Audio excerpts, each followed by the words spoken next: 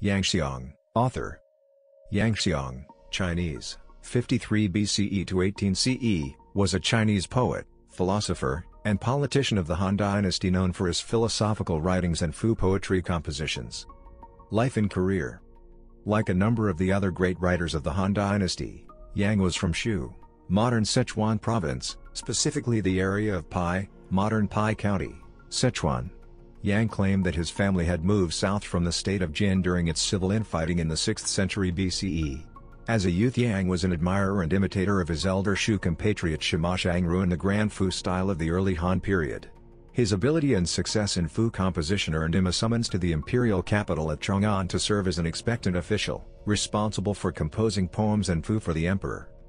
Yang's position required him to praise the virtue and glory of Emperor Chang of Han and the grandeur of imperial outings, but he was disturbed by the wasteful extravagance of the imperial court. Yang attempted to return the Fu genre to a focus of suasive admonition, Feng, which he believed was the original purpose of the earliest Fu-type writings of Qu Yuan, but his couched admonitions against extravagance went unnoticed and unheeded by Emperor Cheng.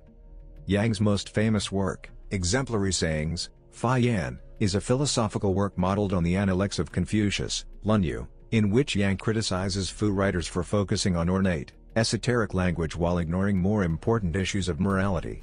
Yang's other works include Great Mystery, Tai Xuan, a divination text based on the classic of changes, Ying, Justification Against Ridicule, Jie Chao, one of the best known of the Fu of frustration category of Fu, and Fangyan, a collection of regional dialectal terms from the various parts of China in his era.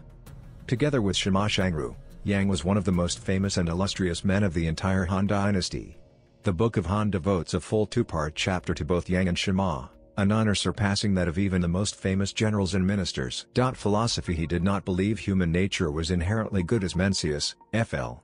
4th century BCE, had written, nor inherently bad as Xunzi, circa 300 to 230 BCE, had written, but came into existence as a mixture of both.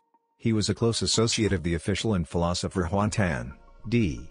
28 CE, an old text realist who may have heavily influenced the works of Wang Chong, 27 circa 100 CE. Yang is also known for his protest against the verbosity of the Fu. He was hailed by Huan Tan as the Confucius from the western parts.